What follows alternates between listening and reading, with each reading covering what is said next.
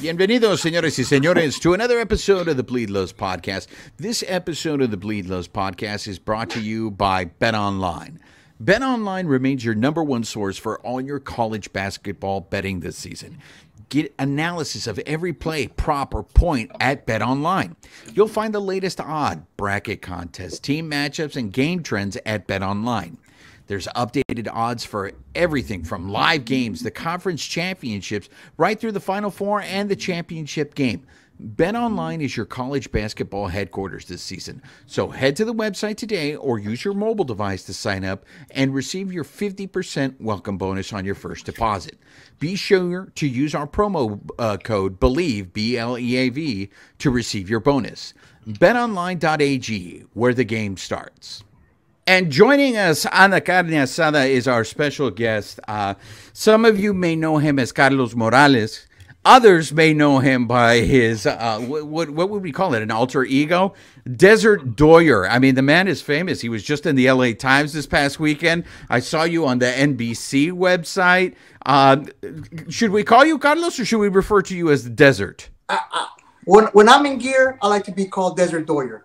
Desert Doyer. All right. So I, I want to start this way, Desert Doyer. How did this whole personality come about? Uh, you know what? I, I moved out here to Arizona about 22 years ago, and um, I, always went to the D-backs games when the Dodgers were in town. And one day, I don't know where, you know, this guy just like, oh, you guys were never here, uh, you, oh, you know, talking all this stuff. And I was like, you know what? I need to, I need to like stand out. I need to find out a way so people know that I'm here all the time. So I, I saw the mask and I was like, that's it. I'm gonna I'm gonna wear a mask. And, and then it just took off. You know, the following year, I got the sombrero. The following year, I got the poncho. I started adding the patches on there, and like I said, the rest is history. I mean, it's so. Is that a blue demon mask, or yeah, is it's a blue the blue demon? The blue demon.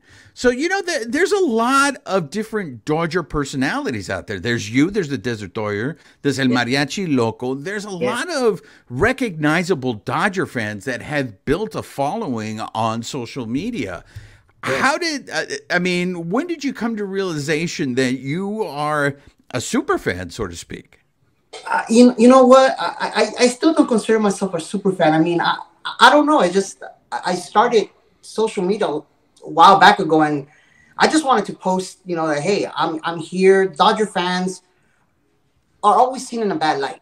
You know, they're always seen like oh fights and they're cholos and they're bad people, and like no, you know what? I, I wanna uh, show that Dodger fans aren't that way. They're not. We're not all that way. You know. So I started, like I said, I started posting and and little by little just started taking off, and uh, now I'm like 10,000 followers on, on IG, almost 10,000 on TikTok. And I'm like, man, you know what? This, this is pretty, pretty awesome. Hey, Roger, when did you become uh, aware of Desert Doyer? When was your first experience with him? I probably started seeing the stuff a couple years ago. I mean, because he'd start. I mean, he'd he'd post his stuff, right? Like you, but you'll do skits too, right? And like it just, I like be like watching him, be just like laughing out loud, and I like I show my wife like, look at this guy. This guy's like, he's crazy, man. He's funny, like, and that's kind of like you know, you just seeing those skits. Like it's it's a different, it's like a different take on like just like a Dodger fan, right? Like you know, it, it's not just yeah, he talks about Dodgers and you know he talks about what, what's going on, but he keeps it really light, keeps it really funny, and I think it's it's it's a great account you know to follow just for you know any Dodger fan, right? And but also like I said, just in general, it, it's a good account just uh, for social media. Oh, thanks. You know, you, you know what? The first time I noticed you, Desert Doyer, was I love your video sequences, your series, so to speak, when you go to spring training. Being that you're in Arizona, you're there at Camelback Ranch. I, I love those vignettes. Uh, your editing skills are very impressive. Do you have a background in in production? Because those don't just look like half-ass videos, dude. I, oh. I admire your production value. Man, you know my my uh, editing team no, just kidding. It's it's just my it's the iPhone that, that I do it all on my iPhone. I, I, I was for a while I was gonna do it on my on my Mac, but it's just too complicated to be transferring stuff, editing it on there, and then transferring it back or whatever it was. And I was like, you know what? I, just the iPhone just do the iMovie, and that's that's where I edit everything from. So you're all self-taught then. Yeah, pretty much. But I, I remember there was one shot that you did. I think it was when you you were going from Arizona to the Dodger Stadium, and you did it on your bike, and you had what looked like this aerial shot. Did you do Oh. that on a drone? Yes, yes. My, my brother owns a drone, and I was like, man, you know what? I, I said, hey, we got to do a shot out in uh, uh in LA. You know, we're, we're showing me, and he's like, yeah, yeah, I got you, I got you, and uh, he did it because he, he's a photographer, a professional photographer, and uh, so he did the drone shot and everything. He sent it to me on my phone. I edited it there, and I added it, and that one came out pretty great. Yeah, I mean that, that I, that's why that I think was one of the first videos that caught my attention because I was just like the the, the post production value there. I mean the production value it was it was fantastic. Now you're originally from LA, right? Yes, Hollywood. I was originally from Hollywood. Uh, then uh, moved, like I said, moved out here to Arizona 20 years ago. So what made you a Dodger fan? Oh man, you know I, I've always been a Dodger fan. I've loved baseball, uh, but growing up, I, I you know I watched a, a lot of TBS, a lot of uh, WGN because the Dodgers back then weren't on TV as often. No. So I was actually I wasn't a hardcore, let's say Braves fan, but the Braves were on all the time. So as soon as I get home from school, TBS four o'clock Braves game were on. Dale Murphy was my guy. He was my first uh, favorite player. You know, when I when my first little league team were the Braves. So and I I got lucky. I got number three. I was like, oh man, this is this is a dream, man. The Dodgers. I mean, I followed the Dodgers and everything, but they, like I said, they just weren't on TV back then. You know, they were very rarely on TV. They were on ZTV. You had to pay. You know, pay your pay per view.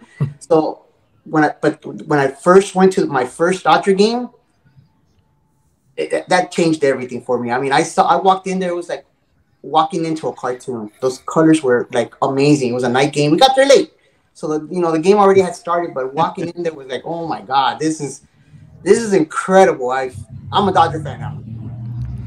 So do who did you have a favorite Dodger when you were younger? Uh, Kenny Landreaux. Kenny Landreaux was my, my, my favorite. Uh, he wore my favorite number, number 44.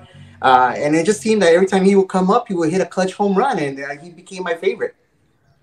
All right, so you, let, us get some hot takes in there because you were there on opening day. That's where they got that great picture of you in the LA Times. So uh, I, I'm following you on Twitter, and I know you got a lot of opinions on the lights. So there's a couple of things I want to get your takeaways from. But let's first start with the team going into it prior to opening day. What were your thoughts on the Dodgers? It, it, it's it's going to be a competitive team. I mean, my only my only concern was the pitching, the starting pitching. I, I don't think we have uh, the starting pitching uh, depth that, that that that we need to carry us in the pl- postseason. We we have an okay lineup right now to get us through the regular season, but we just I think we need one more arm, a, a good arm, to get us, you know, where we need to get. Uh, the, the lineup, I was fine with it. I, I mean, we had some subtractions, but I think what replaced them is is is equal or even better than what we had. So I'm okay. Um, the lights, uh, I think, took everyone by surprise. And I know you were reporting that the Diamondbacks were complaining about the, the lights. What were your views on the lights experience as a fan? Was it was Oh. it enjoyable? I, I love the lights. Uh, the, the, I, I've been to Atlanta, and uh, they do they do that uh, all the time. They, when the, they hit a home run, they turn them off, and then there's uh, when they do the seventh inning, uh, the seventh, uh, the taking out to the ball, they turn them off, and everybody's flashing their their lights, and then they start their little tomahawk chat. And I, I like, man, this is pretty cool. And to see it at Dodger Stadium, I was like, oh man, this is awesome. Uh, so I, I love it. I'm, I'm all for it. Uh, do you? What about the the pitch clock? A lot has been said about now that these games are, are going too fast. Did they? Did it feel too fast for you on opening day? Yeah, when they when the rule came out, at first I was like, you know what, this is this is ridiculous. You know, the, why are we changing it? But going to a few spring training games and uh, and, and, and opening day, I don't I don't mind. It's not like if I'm paying attention to the pitch clock anymore. It's not like if I'm watching it like the countdown like basketball. Oh, they got three, two. You know, like I- feel it's we, we're gonna have to adapt to it. We're gonna have to get used to it, and I don't mind it. So there's a, there's a couple of things that I want to, reach out to because you had mentioned first that you created the, the, the persona of the Desert Doyer because you wanted to give the Dodger fans a, a, a good look, right? There was a poll that recently came out that said that the Dodger fans are the second worst fan base. yes. Being being that you live in Arizona, you're not, you know, in LA along that time, you're able to give us a good outside perspective about how Dodger fans are viewed. And it, it sounds like uh, compared to other people, we are viewed as a bunch of cholos. Is that accurate? That's very accurate. I mean, uh, people, they hate us. They, they, they, that's that's it. They, they hate us because we're we're right now in a stretch where, where we're at the top. You know, we're at the top, and and, and and you know, reports here. You know, we're on TV all the time. Dodger games are on TV all the time. The Dodgers here, the Dodgers that, Dodgers this. So people here in Arizona, they hate us for that. They hate us because they're jumping in the pool, and that was like what five years ago, and they and they still bring that up that we jumped in their pool. So I I saw you from far away at the WBC at the Mexico Colombia game.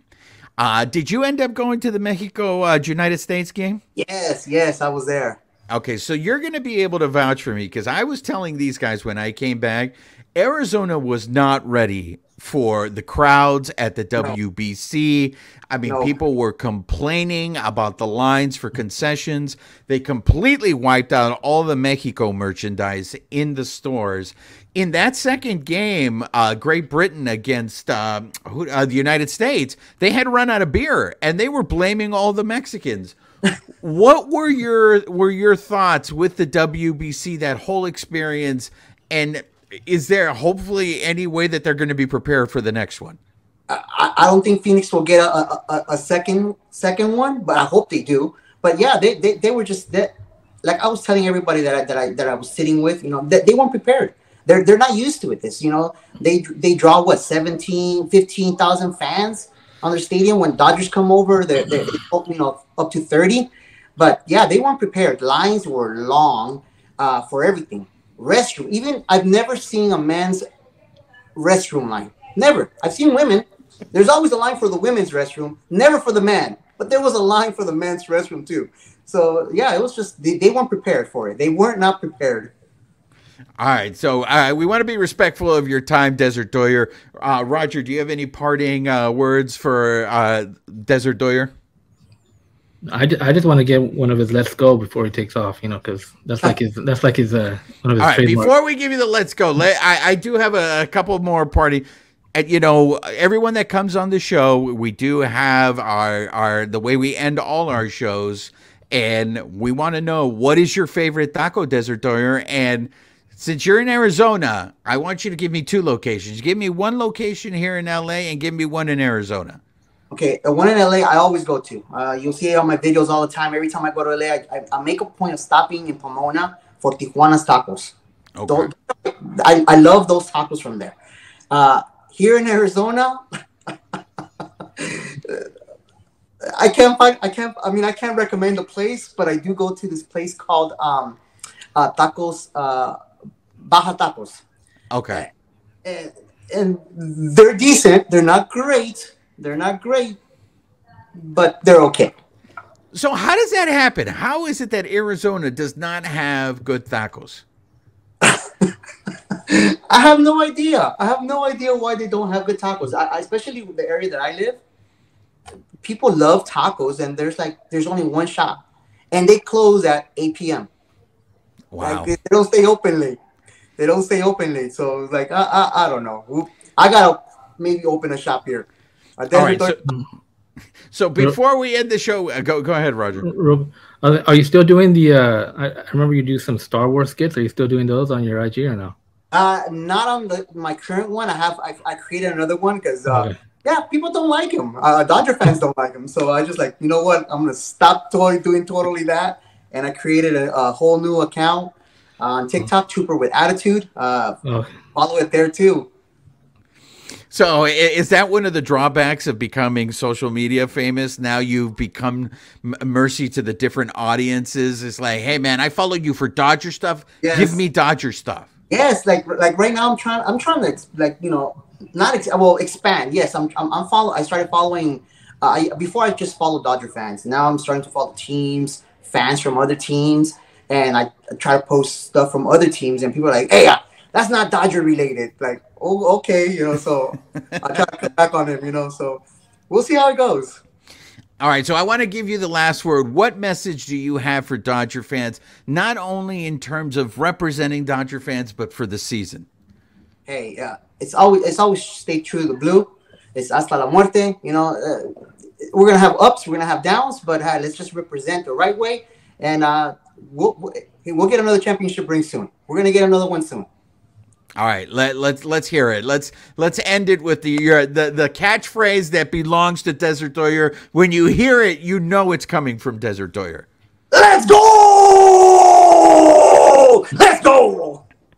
There you have it, ladies and gentlemen. We want to thank Desert Doyer for coming on the show. Hopefully, this will be the beginning of us profiling Dodger fans. I know you. Where can they follow you on the social media, Desert, Desert Doyer? At Desert Doyer on Twitter, IG, TikTok all the same. Desert Doyer. And there you have it, man. You, when you got when we play the Diamondbacks next weekend, look for Desert Doyer. He'll be there representing for the Dodger fans. Once again, seven, waving that flag, baby. Let's go. There you go. Once again, a big thank you to Desert Doyer for joining us. Hey, thank you guys. And once again, a big thank you to Desert Doyer for joining us. Uh, I, I think I, I don't know if you've noticed this babyface, but there seems to be like a certain number of Dodger fans, super fans, or whatever you want to call, that have a, a big following on social media. Like there there are certain Dodger fans that are recognized. Have you noticed that? Yeah, yeah, I've noticed that. Um, you know, there's some there's some people like like Desert Doyer that I mean, like I mean, he's been around for a while. Like like you know, we are talking with him. I mean, he's he's one of those first guys that I saw. You know, and then you know you see more people pop up trying to come up maybe with with like a gimmick, right? Like what what what can I do? What can I do? But I think uh I think you know I don't know like his gimmick or his alter ego as we were saying. I think that it, it fits him pretty well. You know, it kind of fits you know uh, the LA I guess lifestyle culture or whatever Dodger like Dodger fan. I think it, it, works, you know. And and like I said, he's a good follow. Like, you know, he he'll do his Dodger stuff, his updates, but a lot of stuff he's he's pretty he's a funny dude. Like, you know, he'll he'll he'll interact with people and he's you know, I'll be watching those and I'll be like I'll be like, this guy's really funny. Like, you know, he's he's a good follow. Yeah, I mean, there's uh baseball. Uh, I think he's called what baseball head. Baseball head, yeah, he does. And then the, what? What? What's the name of the guy who has the blue mohawk? Uh, Blue Hawk. And then there's the guy with the blue beard. Ain't that just Bluebeard? Yeah, Bluebeard and then Mariachi. So there are a bunch of Dodger fans that you know are, are recognized and they may have gimmicks like like Babyface said. So maybe I don't know. Maybe this is the beginning of. Maybe we'll do a series where you know we we introduce and get to know them, interact with some of those uh, Dodger fans because after all, you know this is a Dodger centric podcast, and uh, as the season has just started it may have a lot of ups and downs. Uh, I don't know how many people expected that in the opening series, this four game series against the Diamondbacks, that the Dodgers would split. They were two and two. So let's get right into it, babyface. What are your biggest takeaways from this opening series where the Dodgers split with the Diamondbacks? I mean, I think pretty much it's the obvious, right? Like uh, when they score, right? They score big and they win when they don't score, they don't score at all. You know, one run, you know, they don't win, right? As we saw, their two losses were one run games each. They scored one run. Their two wins, you know, they scored eight and 10 runs. So when they get that offense going, it looks like, okay, yeah, they're going to put up a, a, big number, but then kind of the same thing we've seen, you know, year after year, you know, they'll, they'll run into, you know, where they struggle just to get men on and to push guys over and to score. And I think that's what we saw in these two losses. Uh, yeah, it is interesting to me that the the two wins uh, that they have this year in this series looked very very similar, and the two losses that they have looked very very similar. Friday night they were 0 for 7 with runners in scoring position. They ended up scoring one run in that game. They left 12 runners on base. And that is something that I think from the history of the Dodgers has always followed them is the dreaded left on base stat. Today, on Sunday's game, excuse me, uh, they scored one run and they went 0 for 6 with runners in scoring position, and they left eight uh, runners on. Um, so that seems to be the trend. I, I want to start with the positive. Let's be positive before everybody, you know, starts losing it because they split with the Diamondbacks. For me, the pitching, the starting pitching, I think was great in all four games. I mean, Dustin May pitched a, a hell of a game on Friday. Unfortunately, he didn't have anything to show for it. And uh, Noah Syndergaard, he, I think, pitched I, I don't think he looked as good as Dustin May on Friday. But I mean, he started off great. I mean, he had five strikeouts, I think, within the first three innings uh, of that game. And what was very interesting was so I was at the game on Sunday, and they we asked David Roberts when we, uh, Dave Roberts when we were in the uh, press pool with the beat writers. You know, it seemed that Noah Syndergaard, when he first went into spring training, was talking a lot about velocity and then as spring training went through, went on, he stopped talking about velo- velocity. And it just seemed like it was like, hey, pitch. You know, you, it's not just about striking people out, pitch. So that's why I was a little surprised to see the number of strikeouts in this game. But he was pitching to contact, he was getting people out, and he was very efficient going into that seventh inning. He, I think, had only thrown about 75 pitches. So I was surprised that he brought him out for that seventh inning, but he did. Excuse me. For the first four starts, though, all the starters went six innings. So I think the starting pitching was great.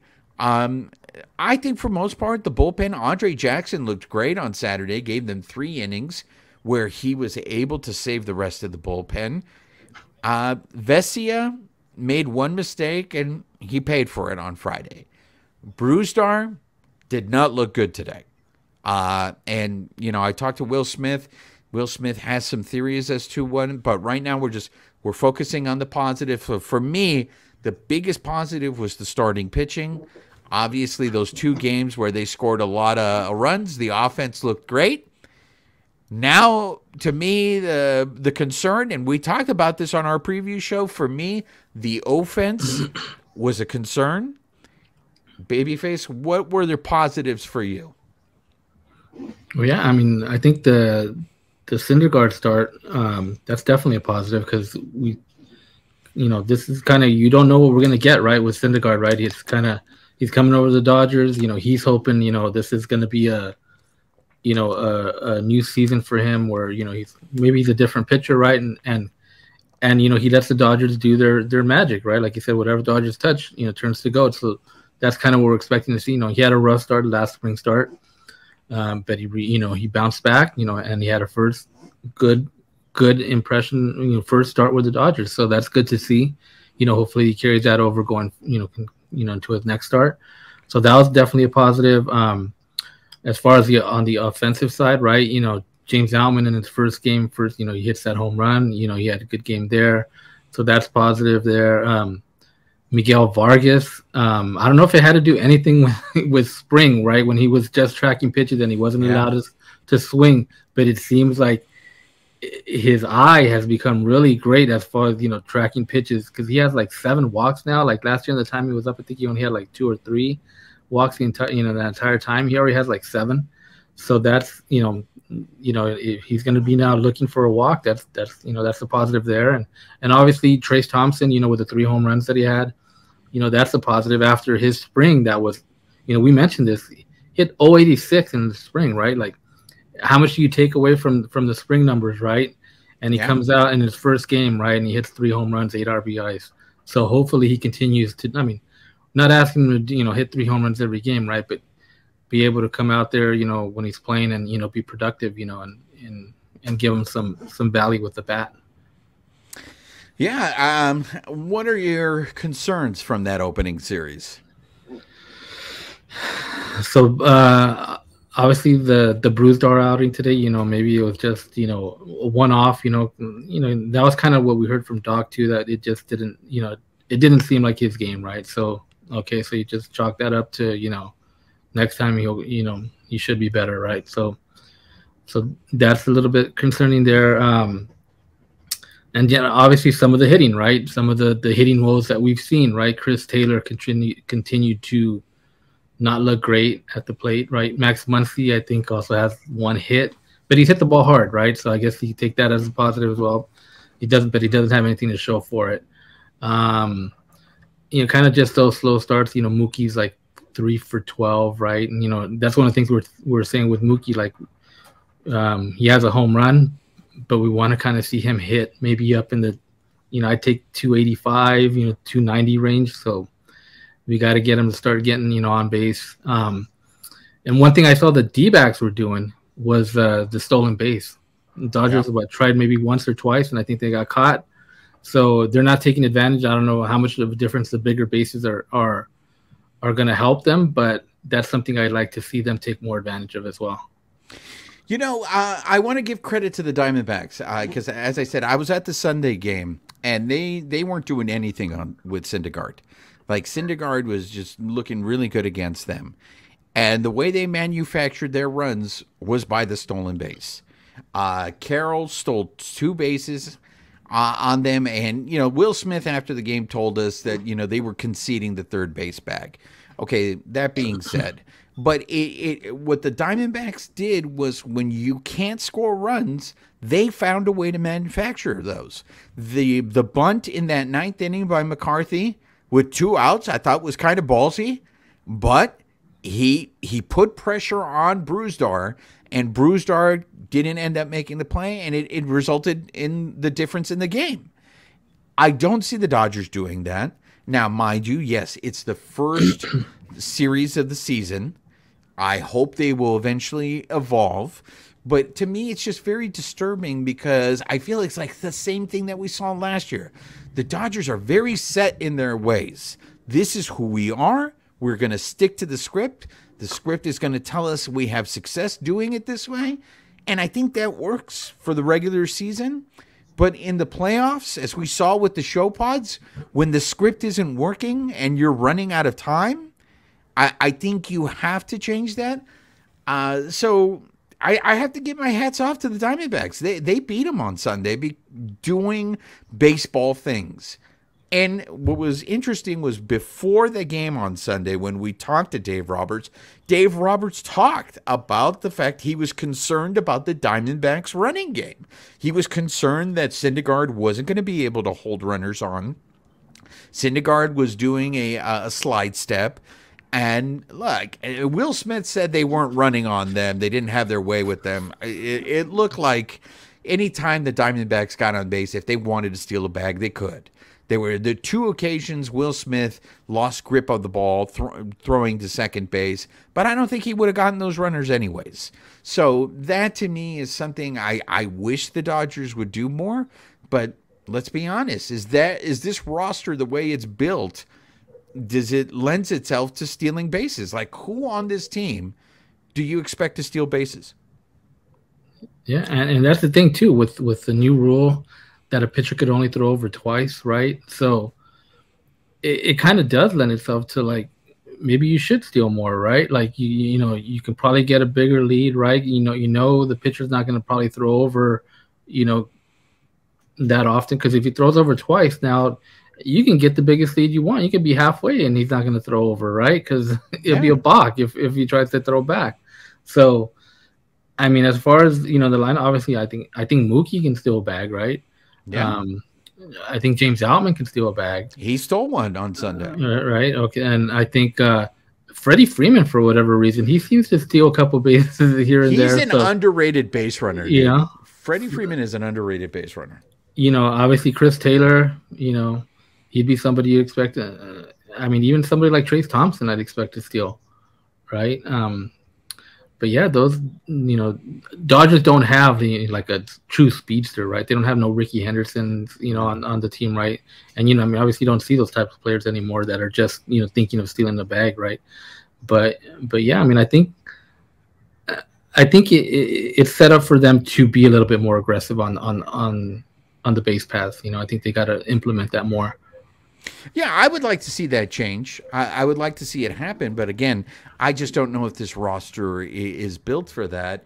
You know, what's concerning to me in that series, that first series, it was just feast or famine. You know, even even that Saturday night's game when Trayce Thompson hit the three home runs, they scored ten runs in that game and they only had eight hits.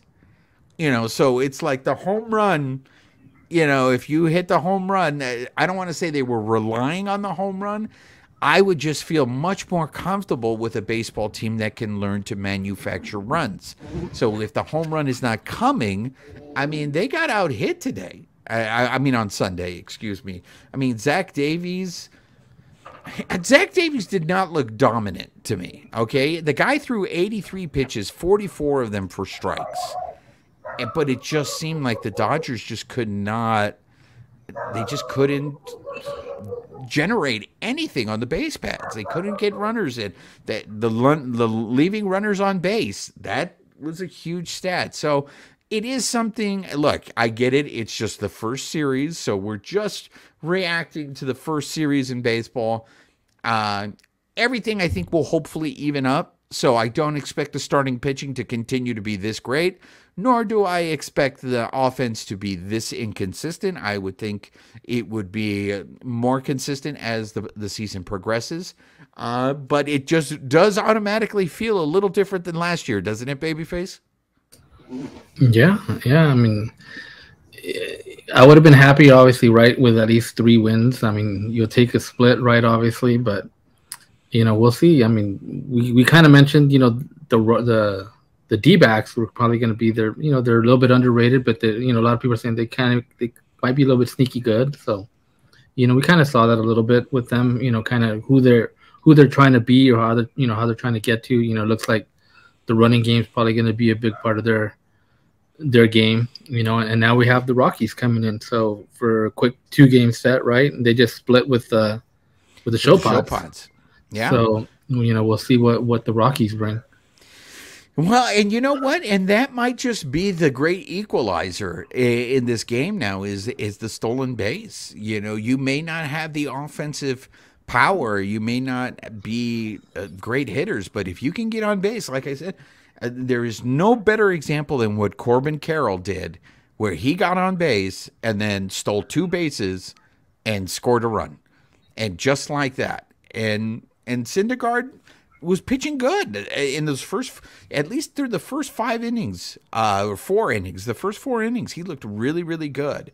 Um, so you were there at opening day, babyface. I want to segue because I saw a lot of conversation about this on the social media.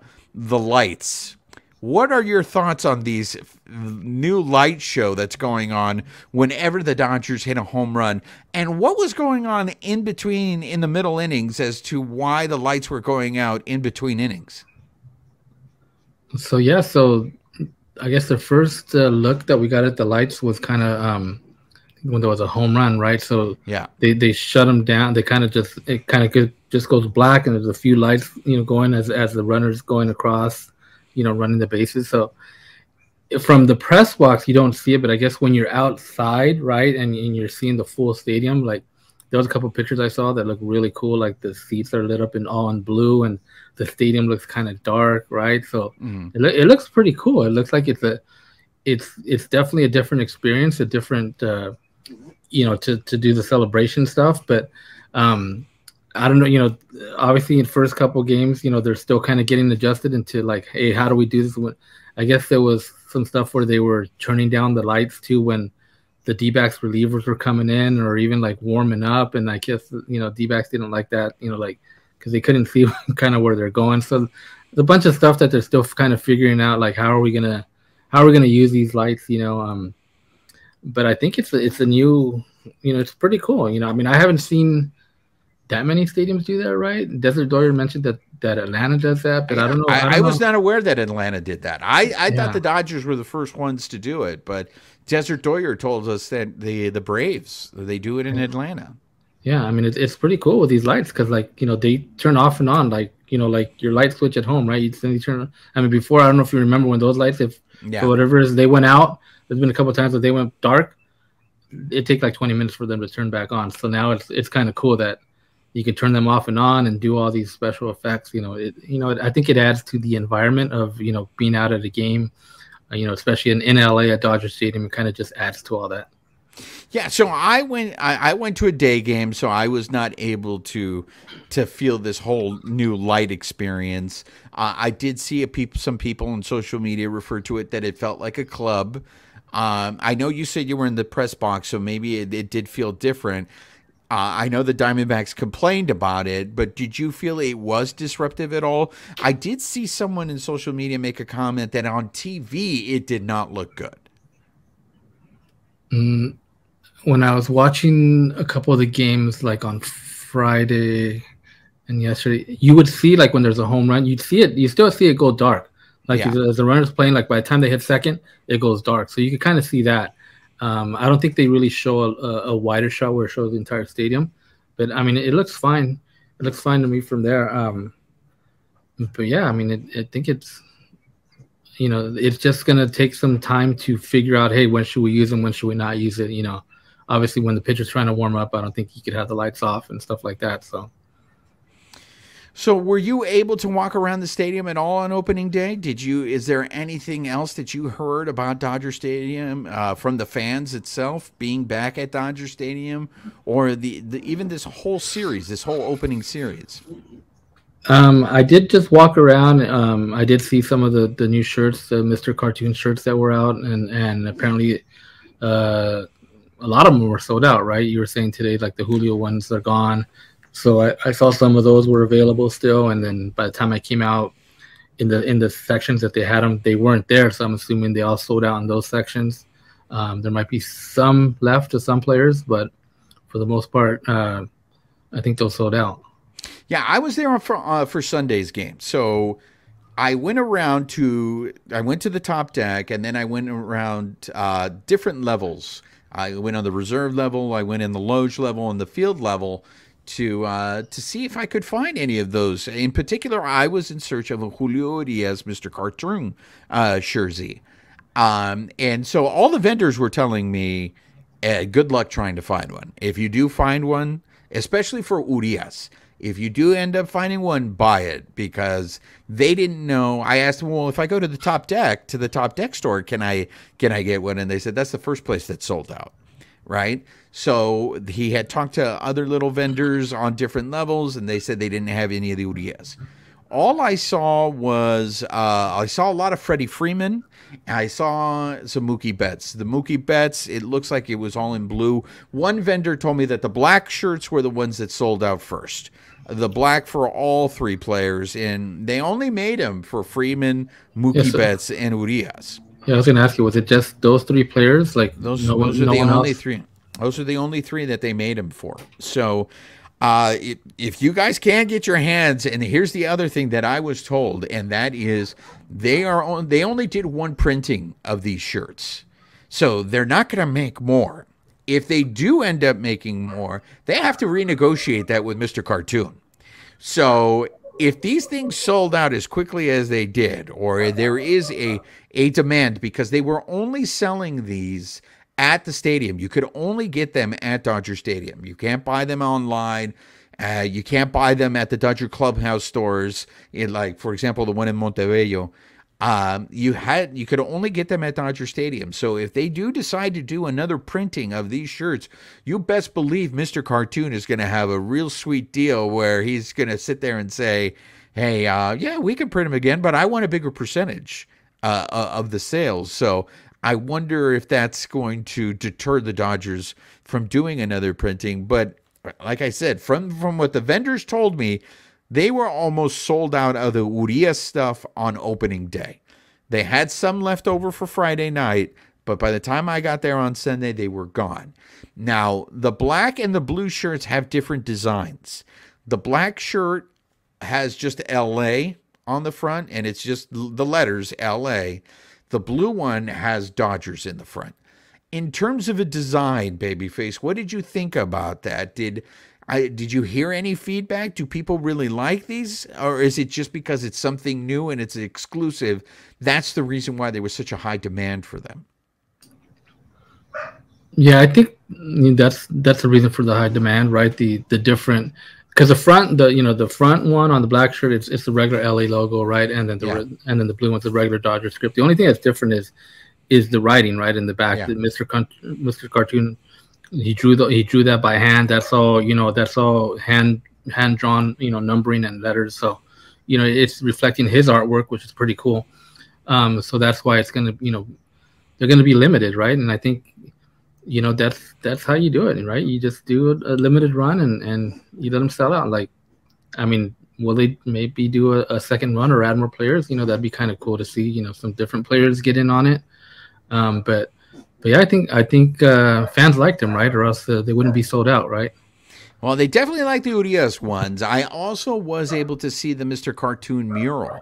So, for those of you who are aware, there are a series of murals in the loge out in right field.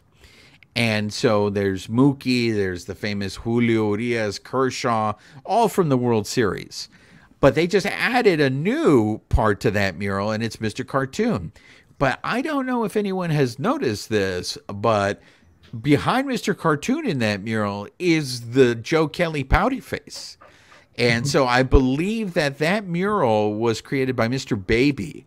Uh, so maybe we can get those some of those muralists on the show and we, we can talk about them. But uh, that that uh, was something that I was able to explore making my first trip to Dodger Stadium for the opening series. Uh, the other thing I think that we need to address, uh, and I think a lot of people need to come to terms with this, is the pitch clock, as many people like to complain about it, the pitch clock, there is no doubt you cannot deny the impact of the pitch clock because it has it seemed and I don't know this for a fact but it seemed all four games an hour in they were already into the fourth or the fifth inning so I know that for Dodger games you always got to deal with traffic so it's really hard to get to the game especially during the week and before there was that whole adage you show up in the third inning and you leave in the seventh I got news for you guys. You can't do that anymore. So you really need to factor in when you're going into when you're going to a Dodger game this year. You either have to take the day off of work or you have to leave work early because I, I you have to be there by the time the game starts because the way these games are going it's I'm telling you you you get there an hour late you're already half the game I, I mean, Babyface, you were there opening day. Opening day was under three hours, right? Yeah, that game, by the time the fifth inning was starting and it was getting to an hour, an hour into the game, that game went two and a half. It, it took the second part from the fifth to the ninth took an hour and a half. So that that's what slowed down a little bit right there. But I mean, the games are flying by. Like you said, you know, if, if you're if you're you know, say you work till six, right? And you're, and even if you're an hour away or whatever, like, you know, I'm about an hour away. By the time you get there, with you know trying to get in, you know, and if you it takes you, you know, if you're not in to almost eight o'clock, like you're almost missing half the game. So it's, yeah. you know, it's gonna be tough. You're gonna have to figure out, you know, what I'm going to the game. I want to be there at the stadium, at least. I mean, not even driving in by seven, like like walking in at least. I mean, you're still gonna wait to get in as well, too, right? So you want to be in at the stadium at least by like six six thirty. You know, yeah. And, Especially, and, want... and, on giveaway nights too. Like that that throws a whole. Oh, you know, yeah. when it's giveaway nights too. I mean, you got to factor all that stuff in too as well. And I and I want to give the point to our Bleed Los contributor Jason Barquero, who had told us this before the season started that what he was really worried about is if these games are going to be consistently under three hours and we're looking at two and a half, what is that going to do to concession sales? And if this becomes a problem where owners are losing money at concessions because the games aren't long enough, I I really wonder if they're going to put an end to that pitch clock. But it is amazing to me watching games and seeing them consistently like 215, two and a half hours going, wow. These games used to be over three hours all the time. This is how much time was wasted by not only pitchers, but also by hitters. So I, I know people have been complaining already that oh the games are too fast. So first it was the games were too slow. Now the games are too fast. Look, the length of these games is perfect for TV. I am very curious for the person who goes to these games in person. Are these games going too fast? And if they are, let us know. Send a, a comment on our social media. Uh, follow us on Twitter.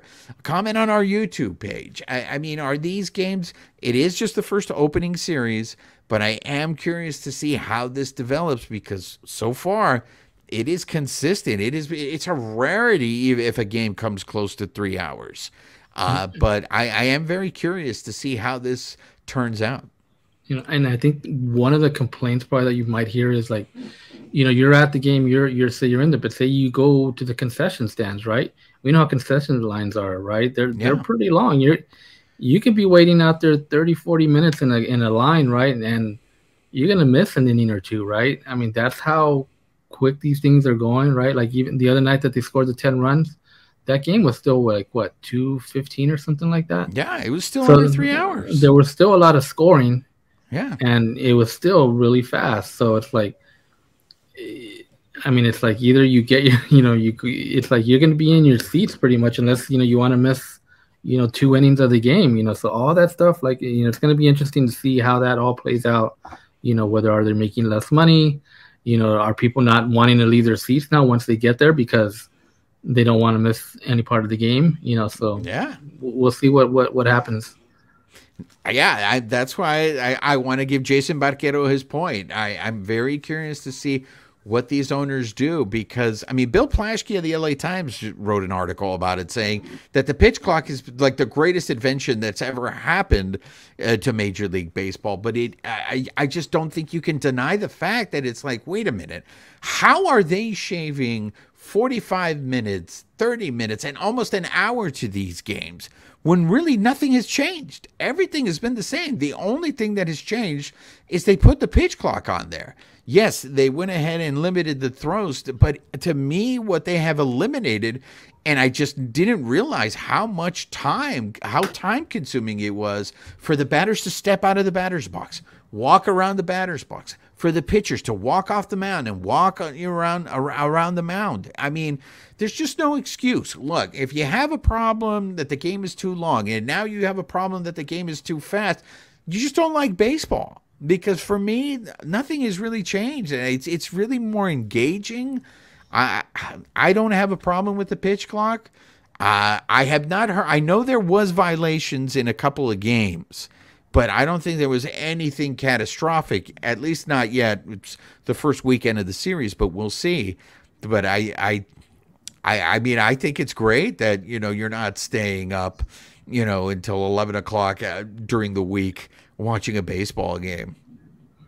Yeah, I mean, so far so good. Like I said, the thing that that you know, and I've mentioned before on the pitch clock is let's see what happens when it costs somebody a game, right? When when it when it's crucial time, right? Then let's see what happens, see what the reaction is, because you know it's coming, right? And and then you know maybe we'll see some type of change where maybe they don't use it in the ninth inning for like a game that's tied, or it's like a one run game or something, right? Just to keep it, or you know something. I mean, I don't know if, like I said, we'll cross that bridge, I guess, when we get there, you know. But you know, it'll be interesting to see if it does cost you know a team a game, and and we'll see what the what the outcry is then. Yeah, absolutely. So just to recap, then, if the Dodgers split their season opener uh, against the D-backs, two and two, there was a lot of positives that we could take from that series. I think there's things that we just need to keep an eye on. Uh, it seems a little bit of extreme to to have these blowout games and then you have two games where you just scored one run. Like if it was against you know, that opening day, I did not expect them to score as many runs as they did because last year, um, gosh, who's the Diamondbacks pitcher that uh, Zach Gallen? Zach Gallen had a really good season, you know, for for the Diamondbacks, and he was pitching really well, and he's pitched well against the Dodgers. So for the Dodgers to be able to get to him, I didn't expect them to get shut down by Kelly Merrill and, and Zach Davies. That that's one thing I, I was not expecting. So. I, I hope this is not uh, things to, to come for this season, but look, it. I, I keep reminding everybody It's just the opening series. I just I already saw a tweet already. I'm so sick of this offense. I'm over it already. And it's like it's game four of the season, guys. It's, it's game four. We still have there's a four way tie for first place at the end of the first weekend between the show pods, the Dodgers, the D backs, and the Rockies. So uh, it'll be it's going to be interesting. I'm, I'm curious to see how this uh, season. Uh, the other thing that surprised me is that Heyward, Jason Heyward didn't get a start this whole four game series. I thought he would start at least one game. So far, he's the guy that they've been bringing off the bench. Uh, Dave Roberts did say that he started a new three home run rule, and that's why Trayce Thompson. So maybe Jason Heyward was scheduled to start on Sunday, but because Trayce Thompson had the game that he had, yeah. he decided to, to put him out there. But I am very curious how this platoon situation is going to work uh, for the outfield. And then the other thing that uh, Dave Roberts told us on Sunday was Mookie Betts was playing second base because of what happened. Oh, yeah, I want to end the show on this with the Max Muncy thing. Max Muncy did not play on Sunday. The reason why Max Muncy did not play on Sunday, for those of you who saw the play on Saturday, it seemed like he got hit in the nuts uh, on, on a ground ball. So one of the questions that was asked, not in a in an overt way to Dave Roberts, I don't know if you remember this babyface, but back when Adrian Beltre used to play for the Dodgers, Remember when he got hit in the nuts and he didn't wear a cup? Mm-hmm. So it was kind of asked of Roberts, was Muncy wearing a cup? And so we did not get confirmation that he was or wasn't wearing a cup. But you would think that a third baseman would wear a cup. I don't care how uncomfortable it is to wear a cup. If you're playing third base, don't you have to wear a cup? Didn't we see that with Muncy last season? Remember when they're in Chicago and Willson Contreras, he kind of hit him, remember? And we're like, oh, I don't think Muncy was wearing a cup, right? Wow, that that, that is yeah. just that's just too brave, man. Mm. There's no way I, especially third base against major league mm. hitters, there is no way I'm not going you, out there without wearing a cup. What do you think the percentages of, of, of major league players that actually wear a cup? That's a very good question. I mean, I, I, I, think we, you know what? I think when we're in the clubhouse, I think we should ask guys that. Are you wearing a cup? Are you wearing a cup? you, you don't think that's going to be weird? You don't think people are going to be like, oh, creepers over here? The Bleed Los podcast is yeah. just a bunch of people. We're, I mean, we're running a poll. Like, do you guys wear a cup or not? Look, the beat reporters were all trying. They never said cup. They never. It was like an episode of Seinfeld where they were talking about something, but they didn't actually say what they were talking about, but Dave Roberts got a good laugh about it. Even Dave Roberts was just like, I don't know why these guys don't wear cups, especially if you're playing third base. But Dave Roberts did say he's not concerned. It's just that Muncy still experienced some soreness, so that's why he wasn't in the lineup on th- on Sunday. So because he wasn't in the lineup on Sunday, that means Chris Taylor has to play third. Miguel Vargas, I think, was going to have a day off anyways that Sunday. So if Taylor's playing third, now who's your second baseman? And this was a conversation that we had. Too bad that Princesa de Picolandia is not here. She's on assignment. But when we had talked about who's going to be, excuse me, the backup infielder on this. So Mookie Betts had to play second base today. And luckily he got moved to right field because that Sunday game could have been a lot worse for Brusdar if Mookie didn't throw out Marte at home. So that's your second baseman throwing somebody out at home from right field, by the way. So how did Mookie look at second in the prior innings? Hey, he turns a, a couple of double plays today that I, I was impressed in. I mean, he, he held his own today. Uh, so, I mean, it's a good, as an emergency, I don't think the Dodgers want him. Look, I know at the beginning of spring training, Dave Roberts said he was going to play 50 games there. Then he backtracked, and now he said uh, maybe 10 games at second base look, what has become obvious is if there is an injury, it's going to wreak havoc for the Dodgers because they don't have any backups. Like, who's the backup for second base for Miguel Vargas? I guess Chris Taylor, right? But then Chris Taylor's also the backup at third base for Max Muncy. So it, it seems like Mookie might have to end up playing second base more than we thought this year. Well, they could always put Muncy at second also again and Taylor at third you know, something like that. But when when Muncy was on the show, Muncy said he he likes playing one position and sticking to one position, and I and I feel like when he did that, he's he had good seasons. Like when he was primarily playing first base, he had a good season. Yeah, I mean, I, I don't know. I, am just hoping that Muncy, uh, you know, kicks it into gear. You know, coming this uh, next next uh, couple games. Yeah, I, I mean, look, it, I, I, think it's way too soon. You got to give these guys at least a month or two uh, before we realize what's going on here. Because if we just reacted based on an opening series, look, Chris Taylor, that last week of spring training, everyone was like, "Oh, he's he's looking better." You know, maybe he figured things out. On Sunday, Chris Taylor struck out three times, and he was striking out a lot in spring training and we talked about this on previous episodes. The Dodgers need Muncy and Chris Taylor to go back to have the seasons that they've that they normally have. Because if those guys struggle, the the fact that they scored one run in two games that that might become something more common. So uh, I, I, I wanted to interject that story and, and maybe yeah maybe that is something that we got to start asking players more often is why don't you wear a cup? What what is the thing about that? I get outfielders not wearing a cup, but if you're in the infield, man, especially at third base, don't, don't you got to wear a cup? Yeah. Uh, I mean, remember Little League, right? You'd come around with a cup check, right? I don't, I don't think That's they do that. I don't think they do that in the big leagues, but maybe maybe they got it. They do a cup check when you're not even wearing a cup, so it's just it's it's ridiculous. These kids. Uh, so before we wrap things up, babyface, any last words? Yeah, um, I don't think I don't think we can take much away from this opening series, right? I mean, it's, it's a split. You know, we kind of saw what they can do with the bat, and then we saw what they what they can't do, right? When it kind of we're kind of still at the same. You know, it's gonna take a little bit while longer to uh, to kind of see what team we have here. Yeah, that's it. Don't panic. No pasa nada. No pasa nada. They split. Let's see what happens as the season progresses. So, for those of you who have just stumbled across us on YouTube, make sure you subscribe to our YouTube channel. You can catch up on past episodes. Uh, you can also subscribe to the audio format. You can find us wherever you listen to your favorite podcasts.